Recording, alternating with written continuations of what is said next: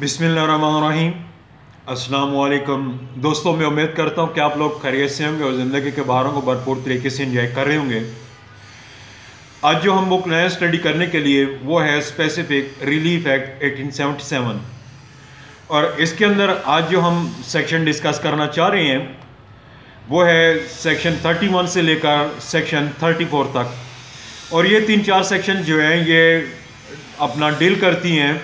Rectification of instrument مطلب کہ instrument کی درستگی ان سے متعلق ہیں اور ان کے اوپر یہ لا بنانے والوں نے وہ بتایا ہے کہ ان دستاویزات کو کیسے درست کیا جا سکتا ہے اور کیسے ان کے فوائد یا ثمرات حاصل کیے جا سکتے ہیں۔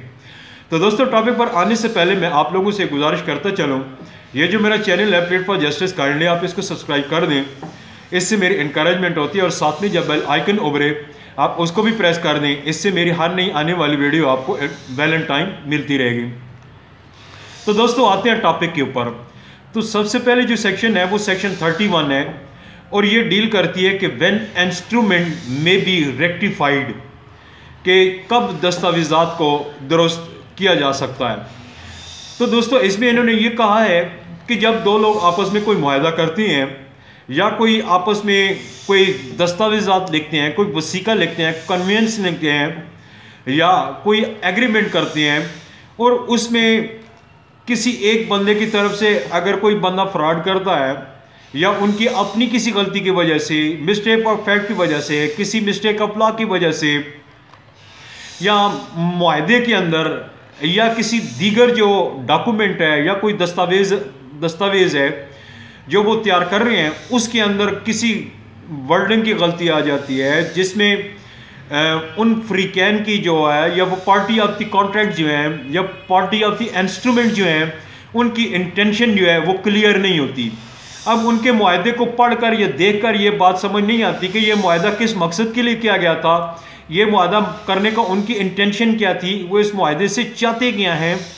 تو ایسے معاہدے کی اگر معاہدہ، اگر دونوں فریقین نے سائن کر دیا، اس کے چاہے وہ کسی بندے نے اس کے اندر دھوکہ کیا یا مسٹیک فیکٹ کی وجہ سے ہوا یا فراڈ کی وجہ سے ہوا یا ان کی اپنی غلط فہمی کی وجہ سے ہوا، تو ان میں سے کوئی ایک بندہ اگر عدالت کے اندر جاتا ہے اور عدالت میں جا کر یہ ریکویسٹ کرتا ہے کہ جناب اس معاہدے کے اندر کوئی غلطی ہوئی ہے یا اس کے اندر کوئی فراڈ کمٹ ہوا ہے یا اس کے اندر کوئی مسٹیک آف لا کی وجہ سے یا ان کی اپنی کسی غلطی کی وجہ سے یہ معاہدہ جو ہے، یہ غلط ہوا ہے، اس کو ریکٹیفائی کیا جائے، اس کو درست کیا جائے، اس کو کلیئر کیا جائے، تو پھر وہ جا کر اپنے وہ اس کو ثابت کرے گا اور ثابت کرنے کے بعد اگر ان فریقین سے کوئی ساون غلطی ہوئی ہے یا دستاویزات یا ڈاکومنٹ کی یا دستاویز کی ورڈنگ سے فریقین کی حقیقی نیت کا پتہ نہیں چلتا یا ان کی انٹینشن کا علم نہیں ہوتا یا دوران معاہدہ ان سے کچھ غلط ہو گیا، تو عدالت جو ہے، اس بندے کے یہ جو دعویٰ ہوتا ہے یا جو وہ دعویٰ فائل کرے گا، اس کے اندر اپنا اطمینان حاصل کرے گی اور اس میں دیکھے گی، انکوائری کرے گی، دیکھے گی کہ آیا کہ یہ واقعی یہ معاہدہ جو ہے، یہ درست نہیں ہے، اس کے اوپر انکوائری کرے گی۔ اور اس کے بعد اگر عدالت کو سیٹسفائیڈ ہو جائے کہ یہ معاہدہ جو ہے، اس سے جو فریقین ہیں، ان کی انٹینشن کا پتہ نہیں چلتا، یہ معاہدے سے کیا چاہتے ہیں، کس مقصد کے لیے کیا گیا تھا۔ اگر انہوں نے وہ بونافائڈ انٹینشن کے ساتھ کیا ہے، وہ نیک نیتی کے جذبے کے ساتھ کیا ہے اور سامن ان سے کوئی غلطی ہو گئی ہے یا کسی ایک بندے نے فراڈ کی وجہ سے کوئی اس کے اندر غلطی آئی ہے، تو عدالت جو ہے وہ اپنا اطمینان حاصل کرنے کے بعد اس کے اندر وہ اس کو درستگی کا حکم صادر کر سکتی ہے۔ لیکن عدالت اس طرح کا حکم صادر کرنے سے پہلے یہ دیکھے گی کہ آیا اس معاہدے کو درست کرنے سے کسی تیسرے بندے کا کوئی نقصان تو نہیں ہوتا۔ اگر اس میں کسی تیسرے بندے کا نقصان ہوتا ہے تو پھر عدالت اس کے حقوق کا بھی خیال رکھے گی اپنے حکم دینے میں۔ تو اس میں اس میں یوں کہا جا سکتا ہے کہ ایک بندہ ہے، اس کے پاس ایک مکان ہے اور اس کے پاس مکان کے علاوہ تین، اس کے پاس گودام ہے گوڈاؤنز ہیں۔ اور وہ اب وہ جو ہے، وہ معاہدہ کرتا ہے ایگریمنٹ ٹو سیل کرتا ہے یا کانٹریکٹ آف سیل کرتا ہے کسی بندے کے ساتھ۔ وہ کہتا ہے، میں آپ کو اپنا مکان بیچنا چاہتا ہوں اور ساتھ میں میں آپ کو ایک گودام بھی دوں گا۔ اب وہ شخص جو ہے، ان کا وہ جو ہے، وہ ڈاکومنٹ تیار کرتا ہے، وہ ان کے پاس وہ رجسٹری ہو جاتی ہے۔ اب اس کے حصے میں تو اس نے ایک گودام اور ایک مکان لکھا۔ اب وہ جو بندہ ہے، مسٹر، جس کے حق میں لکھا، وہ بندہ باقی کے دو جو گودام ہیں، ان کے اوپر بھی وہ کر دیتا ہے قبضہ کر لیتا ہے، وہ بھی رکھ لیتا ہے۔ اور ان میں سے ایک کو وہ کرائے پہ چڑھا دیتا ہے اور ایک کو پھر اپنے زیر استعمال لے آتا ہے۔ تو ایسی صورت کے اندر جب وہ پارٹی جو ہے وہ جو بیچنے والا ہے، وہ اگر عدالت کے اندر جاتا ہے، وہ کہتا ہے کہ جناب میں نے صرف اس کو ایک مکان اور ساتھ میں گوڈاؤن دیا تھا، ایک۔ اس نے باقی دو کے اوپر قبضہ کر لیا۔ تو پھر عدالت جو ہے، اس کے معاہدے کو درست کرے گی۔ معاہدے کے اگر ورڈنگ غلط لکھی ہے، تو اس کو درست کرے گی۔ اور درست کرنے کے بعد اس کے اندر ڈائریکشن جاری کرے گی کہ اس کو ایک مکان اور ایک گوداؤن دیا جائے۔ اگر تیسرا اس نے وہ، اس کو دے دیا، کرائے کے اوپر دے دیا ہے، تو پھر عدالت، وہ کرایہ دارے کے جو معاہدہ ہوا ہے، فیک بندے کے ساتھ اس کو منسوخ نہیں کرے گی، بلکہ اس کو اوریجنل بندے کے ساتھ اس کو وہ کر دے گی اپنا اس کا رابطہ اس کے ساتھ کر دے گی، اس کے ساتھ تو چین کر دے گی۔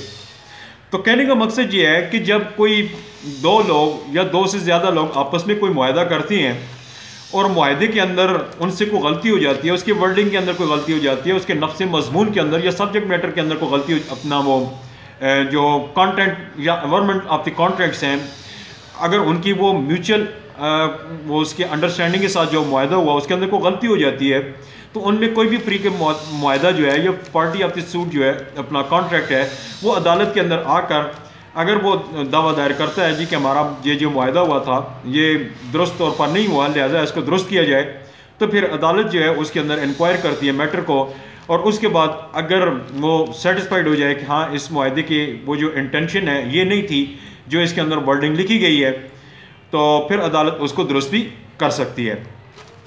اس کے بعد آ جاتی ہے سیکشن 32 اب سیکشن 32 کہتی ہے کہ presumption as to intent of parties اب اس کے اندر انہوں نے کہا ہے کہ یہ فریقین جو معاہدہ ہیں، ان کی انٹینشن کیا تھی؟ یہ جو ڈاکومنٹ تیار ہوا یا جو انہوں نے کانٹریکٹ تیار کیا اس کے اندر ان کی نیت کیا تھی، ان کی انٹینشن کی کیا تھی، اس کے متعلق جو ہے، پھر عدالت جو ہے، وہ کیاس کیا کرتی ہے، وہ کیا پرزیوم کرتی ہے، اور عدالت کی جو پریزمپشن ہوتی ہے، وہ پھر فریقین نے ثابت کرنی ہوتی ہے۔ اس کے اندر انہوں نے کہا ہے کہ کسی معاہدے کی یا کسی کانٹریکٹ کی درستگی عدالت میں اس وقت تک نہیں ہو سکتی، جب تک کہ عدالت کو اس بات کا اطمینان حاصل نہ ہو جائے کہ معاہدے کے اندر فریقین کی منشا کیا تھی؟ ان کی وہ کانسنٹ کیا تھی؟ ان کی وہ جو انٹینشن تھی، وہ کیا تھی؟ کیا ان کی انٹینشن جو بھی انٹینشن ان کی ہوگی، پھر عدالت جو ہے اس کے اوپر دیکھے گی۔ آیا کہ یہ معاہدہ درست کرنے کے بعد یہ جو یہ ایکویٹی کے اوپر بیس کرتا ہے یا ایکویٹی کے اوپر بیس نہیں کرتا، کیا یہ جسٹیفائی ہے یا جسٹیفائی نہیں کرتا؟ کیا یہ اس کے اندر آنیسٹی کا وہ پہلو شامل ہے یا نہیں ہے یا اس کے اندر کوئی فراڈ کمٹ کیا گیا ہے؟ یہ ساری چیزیں عدالت دیکھنے کے بعد، یہ ساری چیزیں سیٹل کرنے کے بعد پھر عدالت جو ہے، اگر اس کو اطمینان حاصل ہوتا ہے کہ ہاں بھائی، اس معاہدے کے اندر کوئی گڑبڑ ہوئی ہے، کوئی فراڈ کمٹ ہوا ہے، یا ان کی مسٹیک آف فیکٹ ہے، یا ان کی ساون غلطی ہوئی ہے، اور غلطی جو ہے وہ ایسی نہیں ہے جس کو وہ درست نہ کیا جا سکے، تو عدالت پھر اس کے اندر پھر ایک تو جسٹیفائی دوسرا آنیسٹی کے اوپر تیسرا، اس کے اندر جو ہے وہ ایکویٹی کے اوپر یعنی کہ برابری کی بنیاد پر کہ کسی فریق کا کوئی حق متاثر نہ ہوتا ہو یعنی دونوں فریقوں کو وہ جو انصاف کا ترازو ہے وہ برابر کر کے، ان کے درمیان وہ جو معاہدہ ہے، اس کی درستگی کا حکم عدالت پھر سادہ کرے گی۔ یہ سیکشن 32 کے اندر بات کی ہے۔ یعنی کہ سیکشن 32 کے اندر انہوں نے بات کی ہے کہ اگر عدالت کو اطمینان ہو جاتا ہے کہ معاہدہ جو ہے اس کے اندر گڑبڑ ہے تو پھر عدالت جو ہے اس کی، اس کو ایک تو وہ جسٹیفائی قسم کا یا منصفانہ وہ ان کے درمیان وہ رائٹس ڈٹرمن کرے گی کہ جس سے کسی کو نقصان نہ ہوتا ہو اور دونوں فریق جو ہیں ان کے رائٹس بھی برابر ہو اور وہ رائٹ بھی متاثر نہ ہوں اور اور وہ جو معاہدہ ہے اس کی پرفارمنس بھی پھر درست طریقے سے مبنی بر انصاف ہو سکے۔ اس کے بعد انہوں نے سیکشن ادھر مینشن کی ہے یہ کاغذات کو درستگی کے چیپٹر کے اندر یہ پرنسپل آف ریکٹیفیکیشن یہ سیکشن تھرٹی تھری ہے کہ پرنسپل آف ریکٹیفیکیشن اور اس کے اندر انہوں نے اصول بتایا کہ کاغذات کی درستگی یا انسٹرومنٹ کی درستگی یا معاہدے کی درستگی کا اصول کیا ہوگی اس کے ضوابط کیا ہے تو اس میں انہوں نے کہا ہے کہ ڈاکومنٹ کو یا معاہدے کو یا دیگر انسٹرومنٹ کو درستگی کا حکم صادر کرنے سے پہلے عدالت اس بات کی انکوائری کرے گی، اس بات کی تحقیق کرے گی کہ یہ دستاویزات کس مقصد کے لیے بنائی گئی تھی۔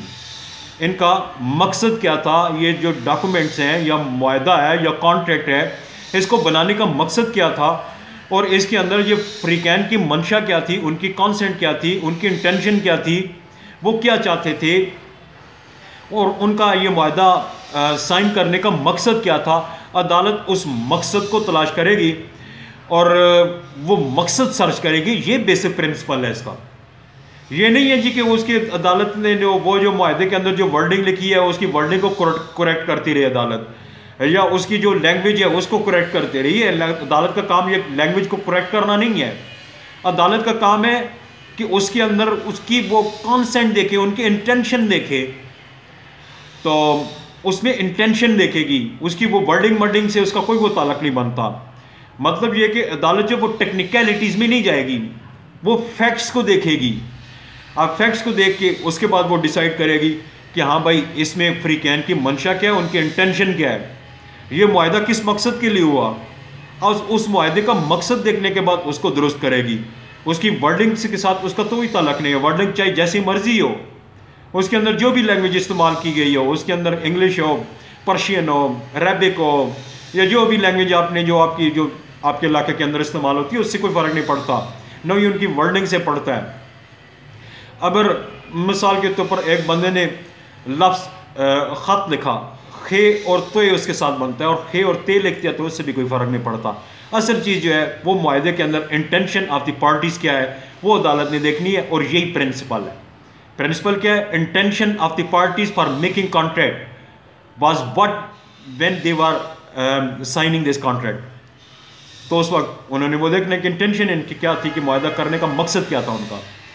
اور اس کے اندر جو سیکشن 34 ہے، اس کے بعد آخر میں۔ اور 34 کے اندر انہوں نے بات کی ہے کہ specific enforcement of rectified contract اب اس کے اندر یہ ہے کہ مدعی ایک ہی دعوے کے اندر عدالت سے دو ریلیفز جو ہے، وہ سیکھ کر سکتا ہے۔ ایک معاہدے کے کہ یا اس کی جو معاہدگی کی معاہدے کی درستگی کا یا دستاویزات کی درستگی کا اور اس کے بعد اس درست ڈاکومنٹ یا معاہدے کی انفورسمنٹ کا وہ ڈگری عدالت سے لے سکتا ہے۔ مطلب کہ اس کو الگ الگ دعویٰ کرنے کی ضرورت نہیں ہے پلینٹیف کو۔ یا جو اس کے اندر جو پرسن ہے، جو پارٹی آف دی کانٹریکٹ ہے، اگر اس کا معاہدہ اس کے اندر کوئی غلطی ہے یا اس کے اندر غلط ہو گیا تو پھر وہ عدالت کے اندر ایک ہی دعوے کے اندر، ایک ہی سوٹ کے اندر یہ دونوں ریمیڈیز جو ہے وہ سیکھ کر سکتا ہے کہ وہ عدالت سے کہہ سکتا ہے کہ جناب پہلے تو آپ میرے دعوے، یہ جو اس کے اندر وہ جو کانٹریکٹ جو سائن ہوا ہے، اس کے اندر جو گڑبڑ ہے، آپ اس کو درست کریں اور ڈاکومنٹس کو درست کریں انسٹرومنٹ کو درست کریں اور اس کے بعد یہ جو کانٹریکٹ ہمارے بیچ سائن ہوا ہے، اس کو بذریعہ عدالت وہ انفورس بھی کریں، اس کی تعمیل ماز بھی کریں، اس کو اسپیسیفکلی انفورس بھی کیا جاوے۔ یعنی کہ ایک ہی دعوے کے اندر، ایک ہی سوٹ کے اندر وہ دونوں ریمیڈیز سیکھ کر سکتا ہے۔ سیکشن 34 کے اندر انہوں نے یہ بات کی ہے۔ اور ایز اے ہول جو ہے، یہ جو چیپٹر ہے ریکٹیفیکیشن آف انسٹرومنٹ اس کے اندر یہ ہے کہ جب دو لوگ آپس میں کوئی معاہدہ سائن کرتے ہیں، اس میں کوئی ایک بندہ فراڈ کرتا ہے یا ان کی اپنی میوچل انڈرسٹینڈنگ کی وجہ سے یا غلطی کی وجہ سے، اس کے اندر کوئی مسٹیک کی وجہ سے کو غلط ہو جاتا ہے، تو پھر اس کو بذریعہ عدالت درست کروایا جا سکتا ہے۔ اور عدالت اس کو درست کرنے سے پہلے یہ دیکھے گی، آیا کہ اس میں یہ جو ہے، ان میں فریقین کی منشا کیا تھی؟ ان کی وہ اپنا مقصد کیا تھا؟ معاہدہ بنانے کا کیا مقصد تھا؟ اور معاہدہ کس مقصد کے لیے بنایا گیا؟ تو اس کے بعد وہ انکوائری کرے گی۔ اور انکوائری کرنے کے بعد وہ جو پرنسپل ہے، وہ دیکھے گی، آیا کہ ان کی انٹینشن کیا تھی؟ معاہدہ کس مقصد کے لیے تھا؟ اور ان کی انٹینشن کیا ہے؟ وہ جب جان لے گی تو پھر وہ معاہدے کو درستگی کا ڈائریکشن دے سکتی ہے۔